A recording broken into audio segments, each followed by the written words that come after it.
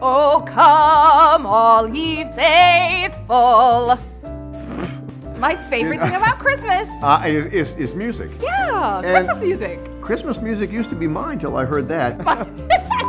When it comes to the holidays, it's always easy for me. It's family. I love my family. They've always been there for me and supported me, and that includes my Channel 4 family and our viewers. They show us so much love, and we've never and if I had a glass of champagne, I would toast to that. That's exactly how I feel, Sheba. Merry Christmas, Happy Holidays to everybody.